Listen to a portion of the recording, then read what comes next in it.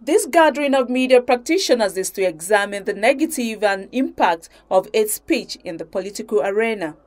Worried about the hate speeches, the chairman of the National Human Rights Commission, Chidi Odinkalu, who however convened the meeting, faulted Governor Ayo Fayose's advertorial and the speech by Father Mbaka, who is slammed for using the pulpit as a platform to breach Section 95, subsection 3 of the Electoral Act.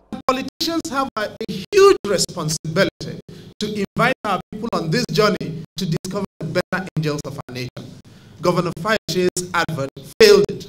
We will not hesitate to seek international assistance if we need to.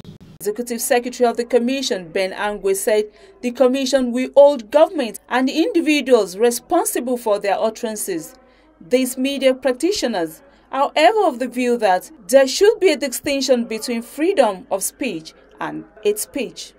Those who intend to use hate speeches to do that will not succeed.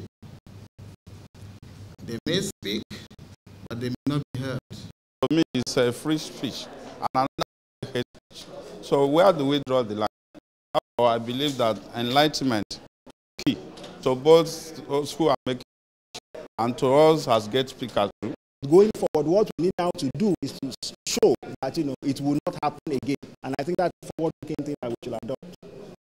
Our responsibility is to reject it, and beyond that, also report to the appropriate authorities what is being done, that something can be done about it. The Commission also launched Election Violence Incident Center to monitor and deploy all appropriate measures to censor accountability.